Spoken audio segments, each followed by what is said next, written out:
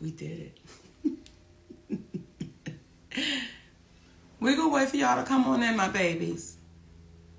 We ain't done this in a long time. We ain't done it in a long time. We ain't done it in a long time, Daddy. Look, y'all don't even understand why we smiling so hard because we was able to get it set up.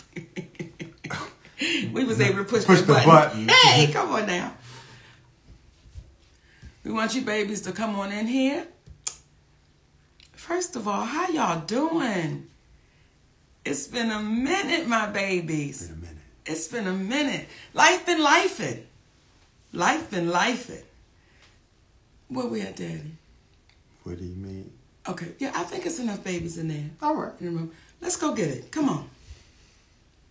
Well, thank you for tuning in. we just wanted to take a few minutes to address a couple of things that have taken place after the Club Shay Shay interview. Much love to Shannon Sharpe. Yes. Good brother. Thank you for allowing Monique to come on the platform, be a listening ear, continue success on what it is that you're doing. Thank you for being a real one. Yeah, baby. Thank you. Thank you. We wanted to address first and foremost our brother, D.L. Hughley. Mm. And we are firm believers on what is right is right and what is wrong is wrong. Yes. So we got to start off by saying there was an inaccuracy as it regards Monique saying that there was a cease, a cease and desist that was given to DL to shut it down. Mm-hmm. What had taken place to be accurate was after Monique spoke to Brother DL on that conversation, Brother DL said, What? Well, after we spoke on that conversation, when we hung up that phone, the last thing he said was, It is what it is. And I said, DL, then we're going to have to get our attorney involved. That's the last thing me and DL Hughley said on that conversation. And after having that conversation with Monique, we went and got our attorney involved, Attorney Anderson. At the time, there were some emails that were transferred back and forth between his side and our side, and it escalated to a point when we had our attorney on the email, whereby then finally DL said that he would scratch the interview. Yes. So it was inaccurate that a cease and desist had to be given. However, that was the next step, and that's what Monique remembered because when I discussed it with her, we said that would be the next step. But to DL's credit, at that moment, when it had escalated, that's when he decided to shut it down. However, that is a bit different from how it seemed to have been communicated, whereby on the phone they were having a conversation and it was kumbaya. Though he never used those words kumbaya, mm-hmm. it did not end with her being under the impression that this was going to be resolved and shut down. So we wanted to make that clear out of love and respect for Brother DL.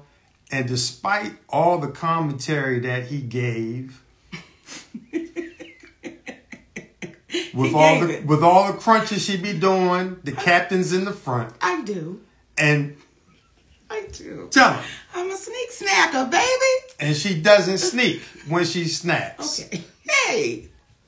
But nonetheless, we wanted to be clear because at the end of the day, we black folks in this world of entertainment.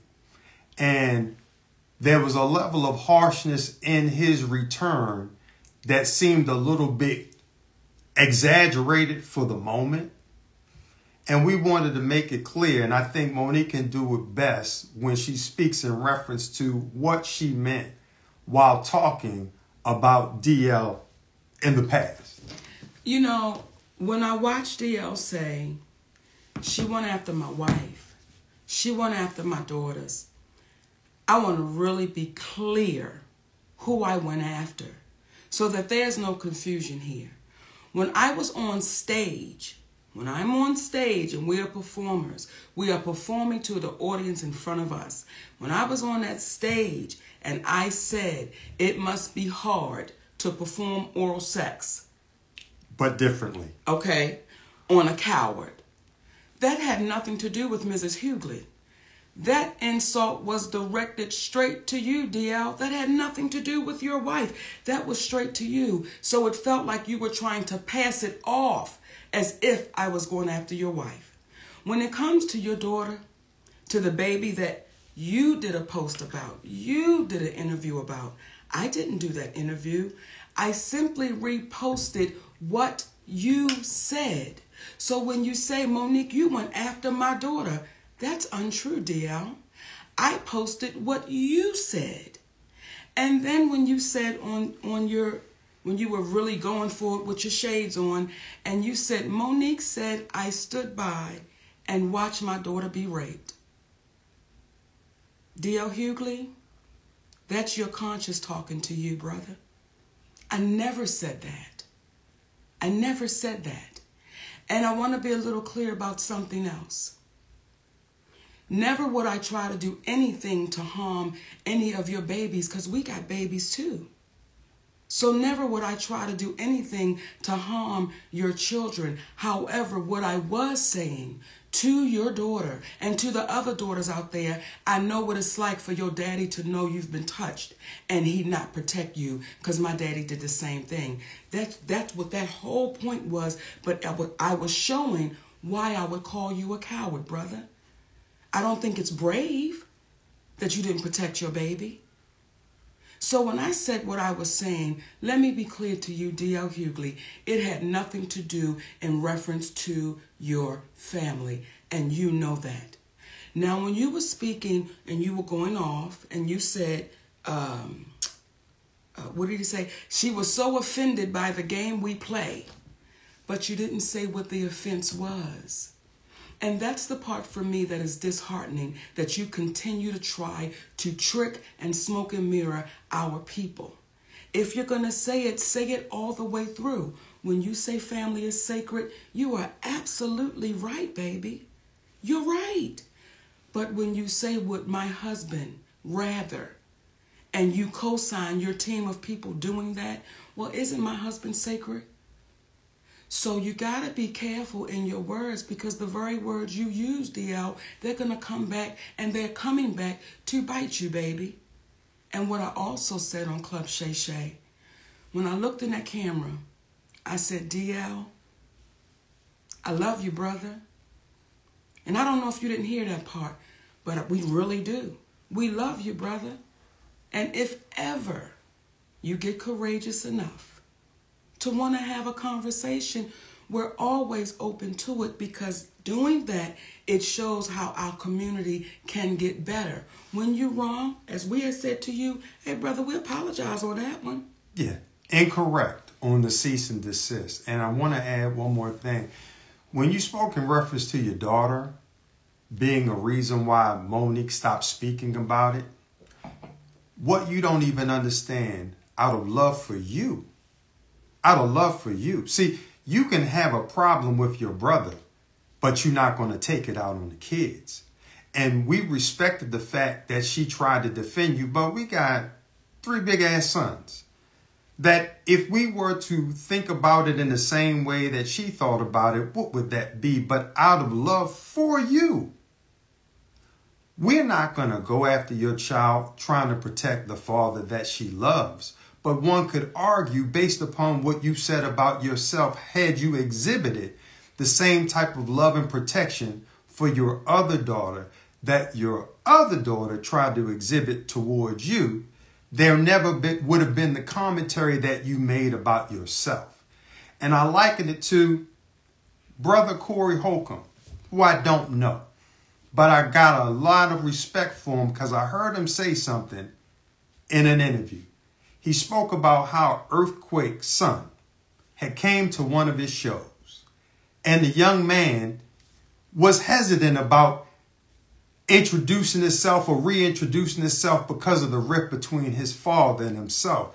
And Brother Corey was like, come on, man. No, no, no, no. You come over here and I'm to give you love. Because that was between your father and I. And it made him reconsider the whole thing and reach back out to an old friend. In my humble opinion, that's what real men do. We come from the old school. We not to have no problem with your children because we love them and we love you and we want y'all to win. Not at the expense of the community, though, being demeaned in order to get followers.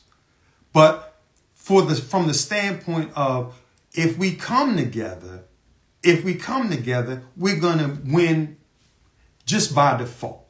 So at the end of the day, when you get to talking about how Monique is not loved and this and the other, that's that's your perception. But what I'll say is it is due to the love that we have that we're able to love those that say things that are could be construed as hurtful, but we understand that the old saying of hurt people hurt people. Mm. So we don't take what you say personally, brother. And again, it's nothing but love in addition to the fact I'm Q Psi Phi. Mm.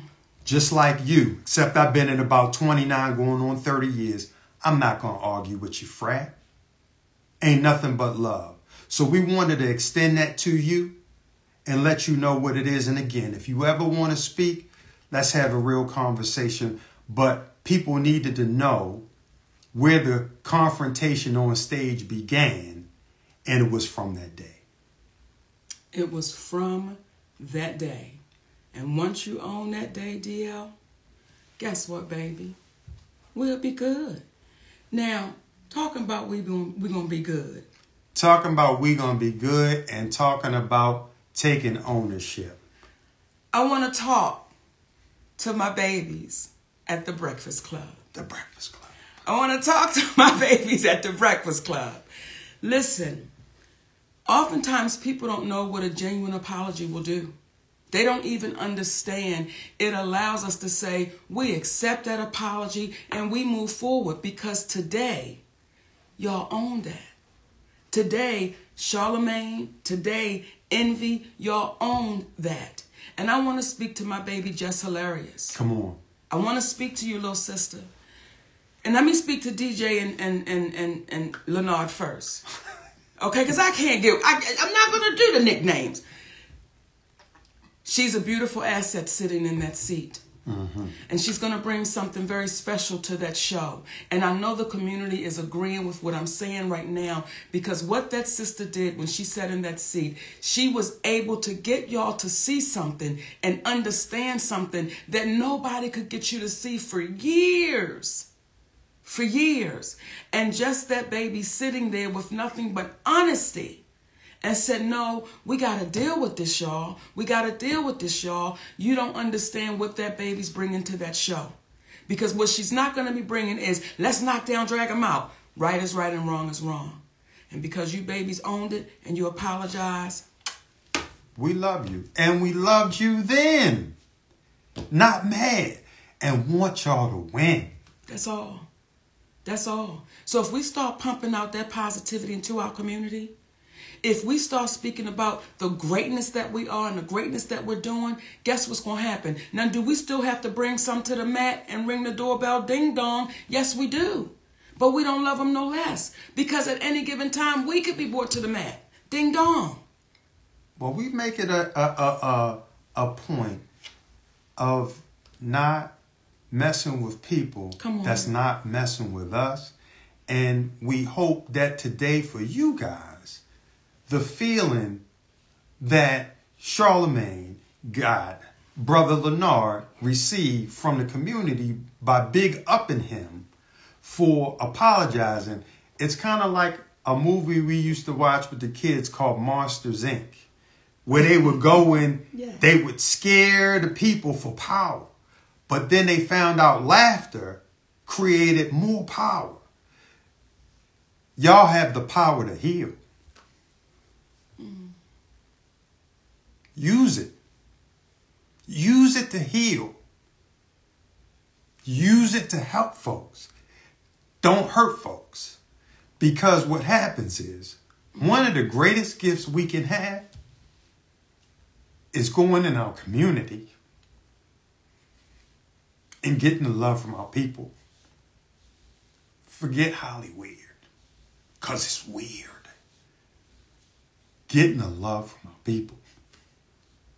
So we are proud of you. And I'm emotional about it because I'm happy that y'all got an opportunity to do that for yourselves. And we love y'all, brothers and sisters. And Jess Hilarious, keep that going. Keep that going because you are a great addition. Because there were others that would have sat in that seat and would not said a, have said a word. So, nothing but love and respect for y'all. And one last thing. Thank you, Charlamagne, for not calling the brother daddy. Okay. Hey. Thank you for not calling me daddy. You did the right thing and you didn't owe me apology. It was Monique. So we love y'all. You know, and we said before we came on that we was not going to be long and we were just going to say, you know, what we needed to say.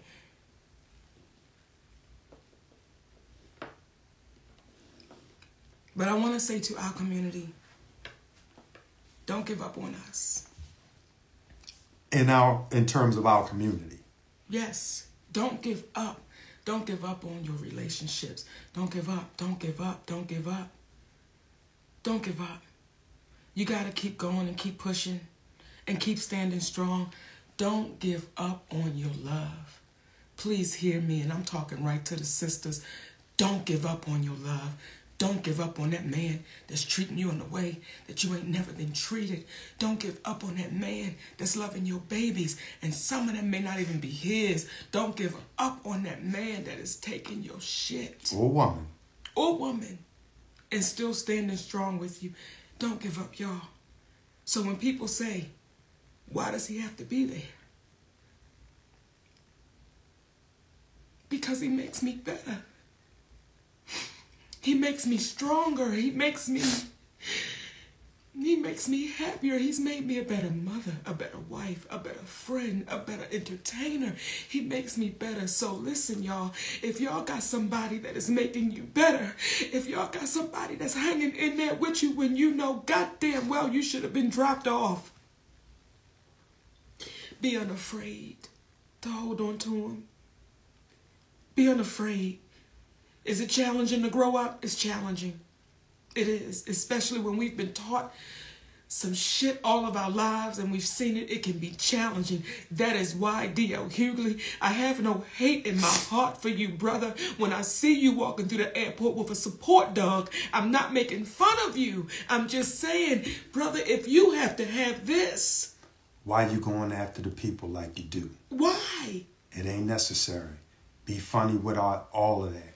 And when we speak about Oprah, when we speak about Tyler, when we speak about CBS, we're not speaking about them to call them out. We're speaking to call them up because the same way that the Breakfast Club was able to say, I'm sorry, the same way Brother Lee Daniels was able to go across the stage and apologize, the same way that we were able to say, we are sorry. It was inaccurate about the cease and desist, is the same way that Oprah, who teaches master classes. Well, sometimes we got to love enough. We got to love the teacher enough to sit them down and say, it's time for you to be a student again. Mm. Tyler Perry.